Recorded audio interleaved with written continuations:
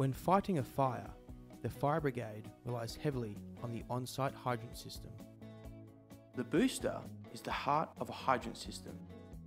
It is used by the fire brigade to connect their pumping appliance to the hydrant system.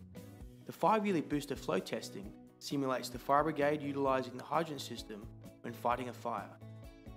This test requires a fire truck or similar. Without a properly functioning booster, the hydrant system cannot be utilised by the fire brigade. Over time, the hydrant system will deteriorate internally and restrict water flow. Many hydrant systems have badly corroded, obstructed, or malfunctioning valves. We have tested over a thousand hydrant boosters, and 50% of these have had failing components. The five yearly hydrant system test incorporates two totally different and separate tests. The first is the hydrostatic pressure test. This zero flow pressure test is to prove that piping and valves can withstand high water pressure within the system. The second is the booster flow test, which simulates the fire brigade use. It is a flow test at the design duties of the system.